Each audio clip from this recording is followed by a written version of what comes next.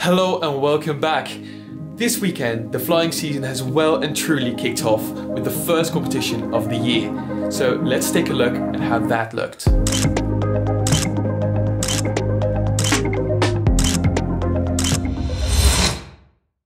Now let's quickly get to work in this new episode, The Flying Simon.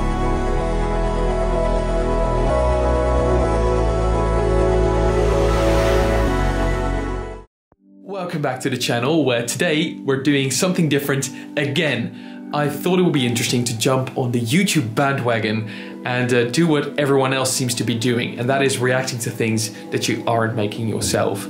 So um, there's a playlist for me with gliding crashes and fails, and today I'll be reacting and analyzing them.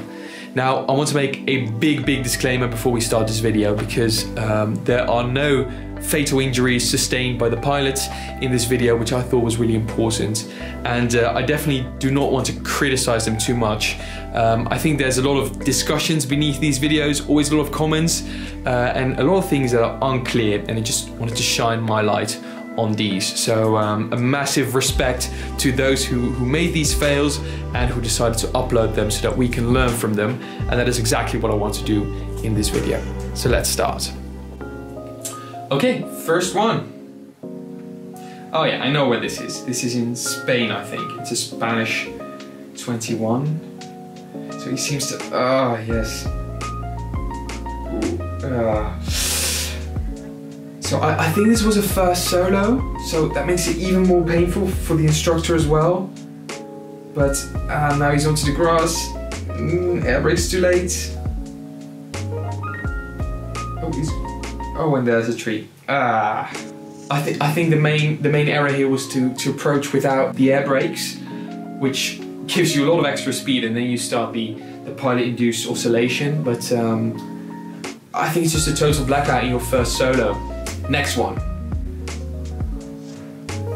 Okay. Oh, this one. Oh no. Oh, this one's terrible. I, I, I saw this one. It was it's quite recent, I think. Someone sent it to me on, on Facebook and I couldn't really believe my eyes. But um, yeah, good that the pilot is sharing it. So once again, respect that he's sharing this, but this is a horrible video. So he's doing some aerobatics. Already quite low, I would say. He's coming back to land. This this looks like a normal a normal circuit, normal pattern. So here here I thought that that, that it was over. There was just a bit of low aerobatics, and that he's doing the landing. Um, that he's just doing the landing. This is a little close over the trees, but okay. Yes, and then something strange happens because this is a this is a low pass. It's really low, by the way. It's really low. But you think he's landed here, and then he just doesn't stop. He just continues on and on, and pulls up.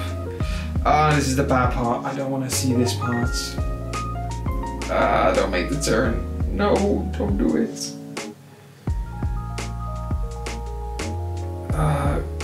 Grabs a tree. Oh no. Uh, ah. Oh man. I'm so happy that they survived this because it looks terrible. It looks terrible. I never even heard of this glider, the, the but um, it's a Polish glider and, and, it's just completely gone. Um, in this case, uh, I also read the report that they made and um, that was quite interesting. But I, I, still don't understand what he, what he was doing. If he was really attempting a low pass or just did a landing but then made it into a low pass. And also the aerobatics was, was quite quite strange.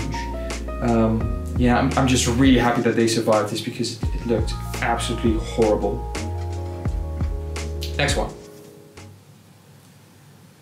Okay, this one's quite funny. I think the commentary on this one is, is quite funny. Albert Felderbaum's hair-raising display of aerobatics. Of aerobatics. Love it. But they get more excitement than they expect. As he flies upside down, his tail hits the ground and snaps off. Oh. Only miraculous handling brings him right side up again. Oh, man. The fragile glider is smashed to pieces against a stationary plane. Can Felderbaum possibly be Oh. alive? An ambulance races to the spot. Imagine doing a, an inverted pass and, and then your tail snapping off. Helpless among the wreckage, Albert Felderbaum is badly Albert. but alive. For a less skilled pilot, such a mishap would have meant certain death. Yeah, I'm interested. That's that. I'm interested. What he says there, a, a less skilled pilot, it would certainly mean death. He does seem to maneuver the aircraft after the tail snaps off, which is really hard, I think. So, um, yeah, I think I think he has been really skilled in here. But who, when did he think that doing an inverted pass with a K6, is it a K6 or a K8, was a good idea? I mean, no one ever said that. I really love these old videos, by the way. I think it looks great in the voiceover. It's just magnificent. Oh yeah, the air show crash. I know this one as well. I think, yeah, I'm not sure what's happening here. If it's a rope break or that they, this is actually what they're doing. Oh, I haven't seen this for a long time. So he's returning back. Oh, that's low. Oh, that's low. Ah, don't make a turn. No, don't. No, don't. Don't, don't, don't, don't. Yeah. Yeah. Ah. That's something you see so often in gliding. I think that that takes a lot of lives every year. Just these low turns, these low and slow turns, and then uh, it's just a spin entry, fall away, and, and hit the ground. I think again, I think I've seen the video, the, the pictures that were taken from this accident as well. I think the pilot is really lucky to, to survive this because the the glide, it's it's a Swift, right? Is it is it a Swift? I think that the Swift was pretty much broken. But what I don't understand here is, is if they were doing like an exercise with just detaching really low or that it was a rope break. But yeah, that brought it in, a really difficult position.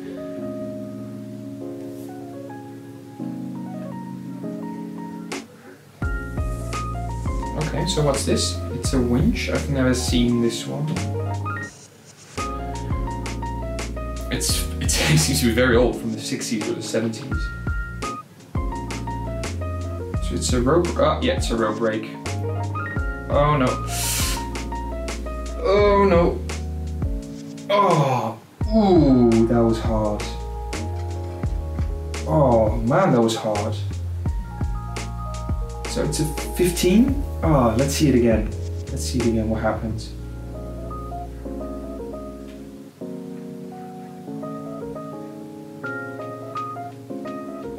So let's see if he, I'm not sure if he reacts late. Oh, so it breaks at like 30 meters. I think the, the reaction could be a bit quicker, but then then again, it's so low. Yeah, I think we saw the other one with the spin entry in, in the late turn. That's something that happens a lot, and I think this one is is is one of the most um, the most dangerous moments in a flight. You know, just just at start when you're just at 30 meters altitude, and if then your rope breaks, then really you can have uh, a lot of problems. And this shows what can happen. Yeah, I remember this one as well. I think this is somewhere in America. It's an outlanding. Uh, he's doing the. Uh, he's landing on the on the main road. It seems to be fine.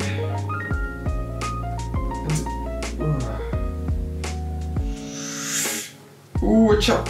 Oh no. Ah, okay. Ah, he actually did well. He did, he did really well. He did really well. Well, of course, the the main road wasn't the correct place to land. You, you can't actually in the Netherlands you can't land on on a, on a, on a highway, and I think it's the same probably, everywhere else. So that's what that's what the mistake was. But then later on, he, he actually did most of the things right, and he, he stayed relatively calm, I think, by just controlling the glider to the ground instead of just just crashing it. So yeah, it's really unfortunate. If, if the if the wave was just a bit bigger, it would have been a perfect landing and, and, and no problem. Okay, so now it's your turn to shed your light on these crashes. Let me know what you think. Um, again, I'd like to emphasize massive respect to all those who, who posted these videos for us to look at them and to learn from them. I definitely think that the, the winch launch crash that we saw with the 15 and the, the spin entries at, at, at low altitude, it's something we see so often. It's something we have to be really careful with. And um, yeah, these videos help us to reflect on, on our own flying, I think. I've also made some errors myself, um, and maybe I will share them in one of the videos. Let me know what you think if I should do that, and uh, I'll see you in the next video.